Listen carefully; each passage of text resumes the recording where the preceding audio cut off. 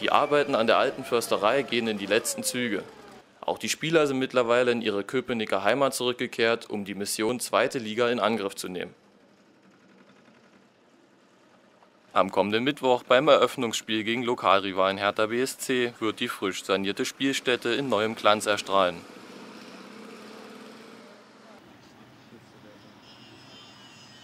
Damit auch auf dem Platz glanzvolle Momente stattfinden, bereitet sich das Team seit einigen Tagen intensiv vor. Zweimal täglich bittet Uwe Neuhaus zum Training, um die Grundlagen im technischen und konditionellen Bereich zu legen. Ja, im läuferischen Bereich sicherlich auf die Grundlagenausdauer, die wir dann aber möglichst schnell dann auch äh, steigern wollen. Und im fußballerischen Bereich machen, wir sehr viel technische Übungen, damit wir dann äh, auch für nachmittags noch ein bisschen Kraft zum Laufen haben. Also es wird keiner überfordert zum jetzigen Zeitpunkt.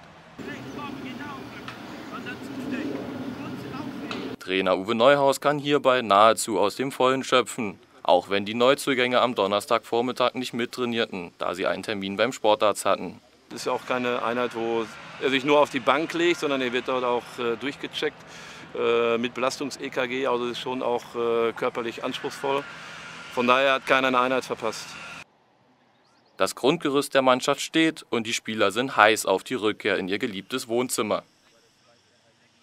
Ja, wir haben äh, damals gegen äh, Leeds United Freundschaftsspiel gehabt hier äh, in alten Fürsterei und äh, das Wetter war geil, die Stimmung war super, unsere Fans äh, für die genau das richtige Spiel gewesen und äh, zudem haben wir es noch gewonnen. Ich habe mein erstes Tor geschossen, also war ein rundum gelungener Tag.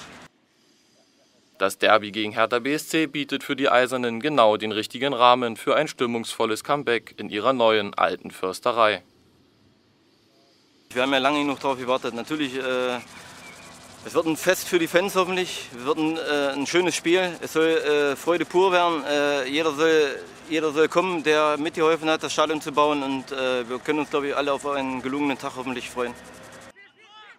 Die Vorbereitung auf die zweite Liga wird die Eisernen noch lange auf Trab halten.